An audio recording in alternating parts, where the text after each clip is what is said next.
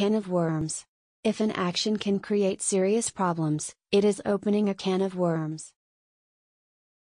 You just make sure you don't open a can of worms with it. One thinks that that will open up a can of worms. Oh, let's not open that can of worms. I can only imagine the can of worms that that would open up if the parents found out. Would open up a whole can of worms. Bird told me.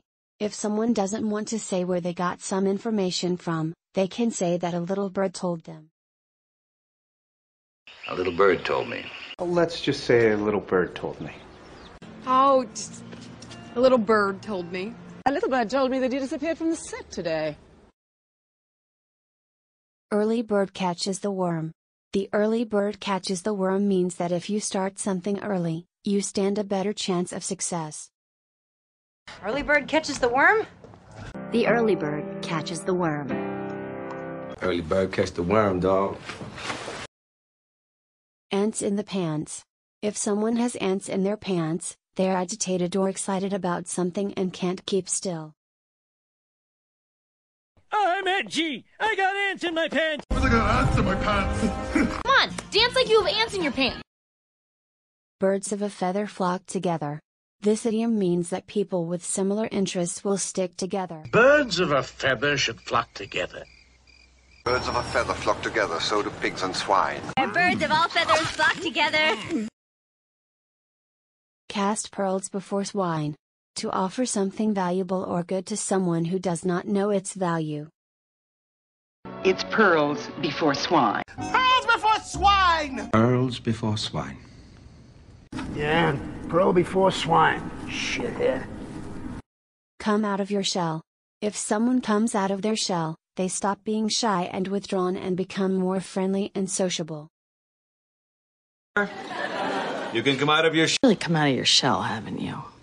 Well, I think you need to come out of your shell. Just. to really come out of his shell? True. Did you know they don't come out of that shell? Deer in the headlights. When one is caught off guard and needs to make a decision, but cannot react quickly. Poor thing looked like a deer caught in the headlights. Did you get the deer in the headlights look?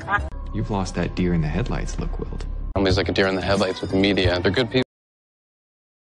Don't look a gift horse in the mouth. This means that if you are given something, a present or a chance, you should not waste it by being too critical or examining it too closely. Don't look a gift horse in the mouth. A gift horse in the mouth. I won't stand for it. In other words, you shouldn't look a gift horse in the mouth. But I guess I shouldn't look a gift horse in the mouth. Yeah.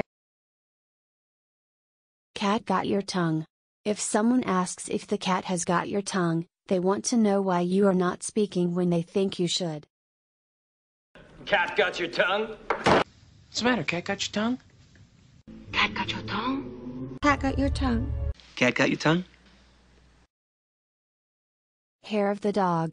If someone has a hair of the dog, they have an alcoholic drink as a way of getting rid of a hangover, the unpleasant effects of having drunk too much alcohol the night before. It is commonly used as a way of excusing having a drink early on in the day. Here. Hair of the dog. Look. Hair of the dog. Good morning, Your Highness. Hair of the dog. Oh, yeah? A little hair of the dog that bit you? In the catbird seat.